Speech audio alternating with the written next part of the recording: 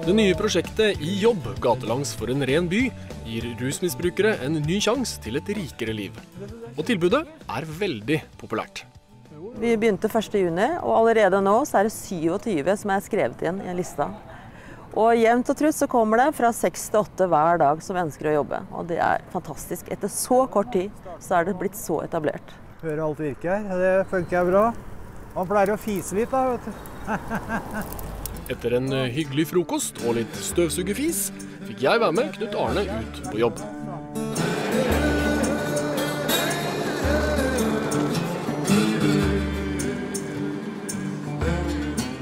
Det er jo helt utrolig. Han har ikke vært i jobb siden 91.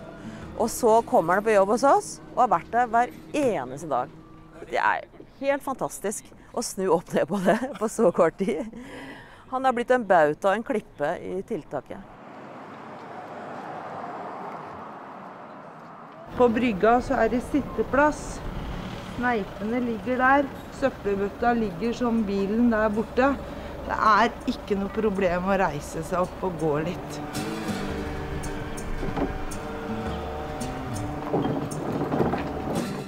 Hvorfor et prosjekt for denne gruppa her?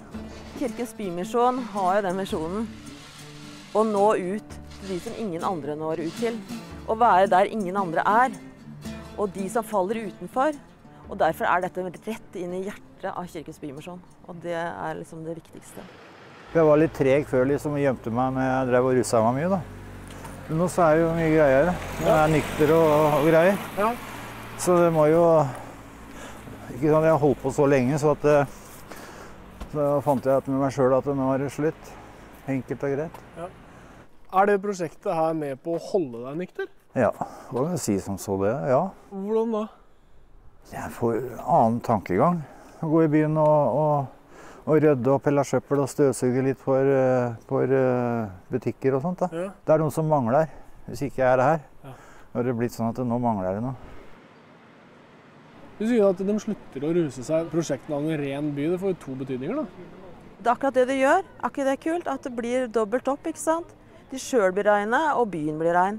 Og det er jo helt utrolig. Allerede nå at noen har bestemt seg for det. Hva er det beste med jobben? Ja, det er å treffe folk som er, blir eh, får skryt og sånt. da. Stopp her og treffe gamle kjente. Ja. Så får jeg sånn positiv. da. Så det er jo Ja, For det var det ikke så mye av før. Nei. Folk okay. tuter litt, og så gir dem en god finger. Ja, de gjør det, sånn. Ja, ja. ikke Det blir sånn. tommelen, Ja, det er ikke langfingeren. ja da gjør jeg sånn. Ja, nei da.